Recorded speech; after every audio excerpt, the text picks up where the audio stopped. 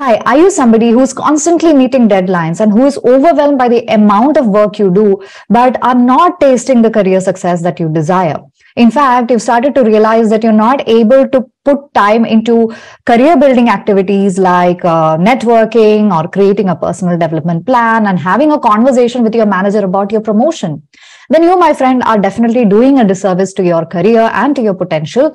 And in today's video, I'm going to give you three Ds that will help you bust some time management issues and skyrocket your career because you finally will be able to spend time on priorities that will build your career and peace of mind. Hi there, I'm Meera Remani. I'm a leadership and executive coach with two decades of experience in the leadership space with companies such as Procter & Gamble and Amazon across the world. And now I coach leaders go up the level in their leadership success and peace of mind. Now, let's move on to our topic of the day, the three Ds that are preventing you from using your time well and preventing you from having the spectacular career success that you desire. What are these three Ds? First D is distractions. Second is delusions. And third are demands. First are distractions. Distractions, as you know, are social media, Netflix, uh, endless coffee chats with colleagues, etc., which are distracting you from spending time on priorities in terms of your project, career success, peace of mind, lifestyle, etc. So endless scrolling on social media uh, keeps you from using time productively on creating a network or creating your personal development plan or even thinking where you want to take your career.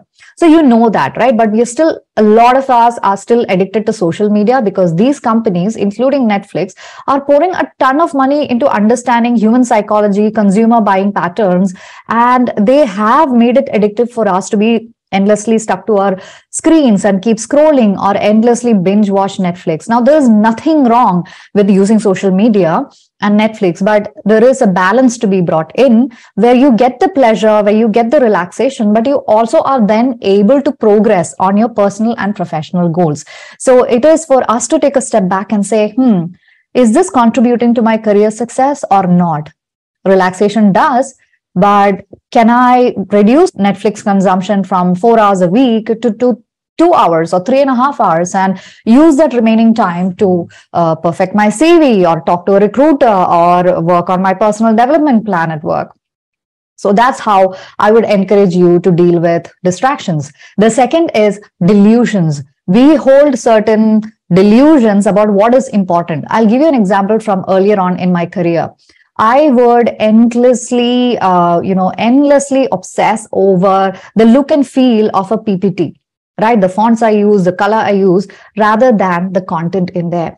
But as you know, the priority is the content, the content, the data, the story that you want to tell so you can influence your audience. So the more I was delusioned about the look and feel, the less I was making my presentation and my communication effective.